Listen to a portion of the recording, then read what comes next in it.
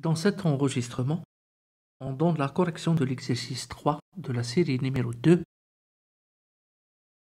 analyse 1 SMPC 2020. Donc, exercice 3, le calcul de la limite, limite quand x tend vers 0 à valeur négative, de x la partie entière de x moins 1 sur x, donne comme résultat plus l'infini, moins 1, 0 ou n'existe pas. Alors, on a vu en cours que, quel que soit x réel, il existe un unique entier. Qu'on note la partie entière de x élément de z tel que x est supérieur ou égal à sa partie entière et inférieur strictement à la partie entière de x plus Donc, la partie entière de x moins 1 sur x pour x différent de 0, bien sûr, elle est inférieure ou égale à, x moins 1 sur x. Ce qui implique que x fois la partie entière de x moins 1 sur x serait supérieur ou égal à x carré moins 1 si x est inférieur strictement à 0. Ce qui implique que limite, quand x tend vers 0 à valeur négative, de x la partie entière de x moins 1 sur x est supérieure ou égale à moins 1.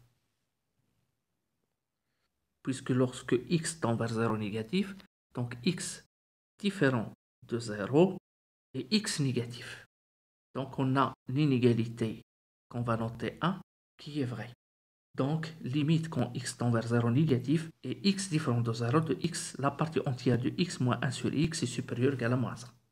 Par ailleurs, pour le même x inférieur à 0, on a la partie entière de x moins 1 sur x plus 1 supérieur strictement à x moins 1 sur x.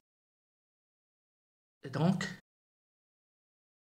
x moins 1 sur x moins 1 est inférieur strictement à la partie entière de x moins 1 sur x. Comme x est une quantité strictement négative, en multipliant par x, on change d'inégalité. Donc x carré moins 1 moins x serait supérieur strictement à la partie entière de x moins 1 sur x fois x. Et donc, limite, quand x tend vers 0 et x inférieur à 0, de la partie entière de x moins 1 sur x fois x serait inférieur ou égal à moins 1. Donc, on vient de montrer que limite quand x tend vers 0 et x négatif, de x la partie entière de x moins 1 sur x est à la fois inférieur ou égal à moins 1 et supérieur ou égal à moins 1. Ce qui montre que limite quand x tend vers 0 et x inférieur à 0 de x la partie entière de x moins 1 sur x égale à moins 1. Donc la limite qu'on doit trouver, c'est moins 1. D'où le résultat.